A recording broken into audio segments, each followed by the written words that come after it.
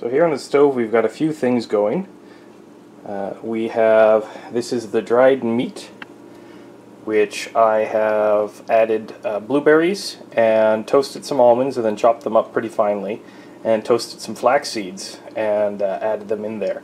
The reason it's on the stove is so that on really low heat I can keep everything in there uh, relatively warm so that when I add the suet directly to it uh, it won't immediately clump and harden and I can actually manage working with it.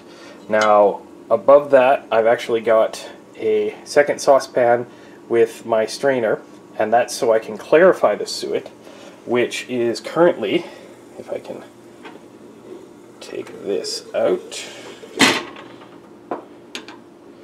currently bubbling away in here. Now the suet that I get um, I have two places I can get it. Sometimes I'm lucky and my local grocery store will carry it. And sometimes I'm lucky and my butcher will have some. So if you can get some from your butcher, that's awesome. Uh, my guy gives it to me quick ground, and then I do this, uh, and then strain to clarify, and then heat it up there and add it directly to the dried meat so I can make the pemmican. Sorry for missing this step, but it's a little hard to do this using the camera in one hand.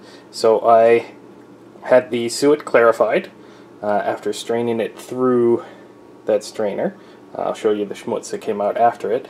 And then what I did was I added it to the warmed up dried meat and berries and almonds and all that stuff. So this is what I've got right now.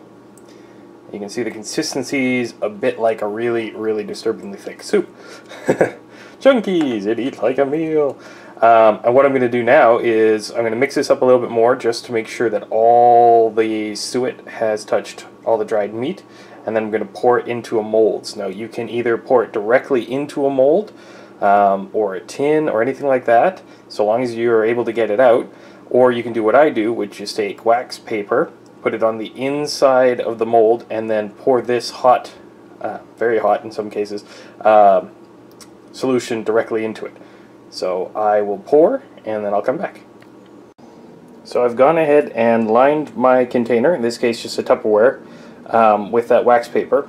Uh, in case you guys are wondering what this is, this is what came out of the suet. This is the le leftover stuff after you render the suet successfully. So um, I'll just pour the pemmican directly into this mold and then come back and show you that. Hey guys, and here we have the final product.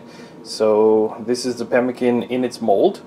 Um, I ended up with a little bit more than I had anticipated, so I'm not going to be able to put the lid directly on top, but instead what I'm going to do is cover it with the wax paper and uh, let it sit, let it cool down naturally at, until it's at about room temperature, so that'll take about 10 or 15 minutes. And then what I want to do is I want to go ahead and put it in the fridge. Later, what I plan to do is cut it up into slices or basically bars.